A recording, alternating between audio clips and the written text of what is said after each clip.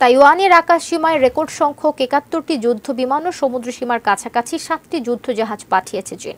সোমবার এক বিবৃতিতে তাইওয়ানের প্রতিরক্ষা মন্ত্রণালয় জানায়, একাত্তরটি চীনা বিমানের মধ্যে সাতচল্লিশটি তাইওয়ান প্রণালীর কাছাকাছি মেডিয়ান লাইন অতিক্রম করেছে। নিজ নিজ আকাশ সীমার মাঝামাঝি এই সীমারেখাটি এতদিন মেনে চলেছে দুই দেশই। নিজেদের ঘাঁটি থেকে চীনের এই মহড়া প্রত্যক্ষ করেছে তাইওয়ানের সেনা ও নৌবাহিনী বলে বিবৃতিতে উল্লেখ করা হয়েছে।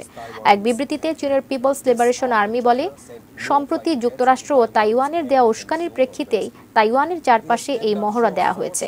তবে কি ধরনের উস্কানির কথা বলছেন তারা? স্পষ্ট করে তা বলা হয়নি বিবৃতিতে। Taiwan's defense ministry says 15 Chinese aircraft, including 12 fighters, entered its air defense identification zone. Taiwan's air force sent up aircraft to intercept and warn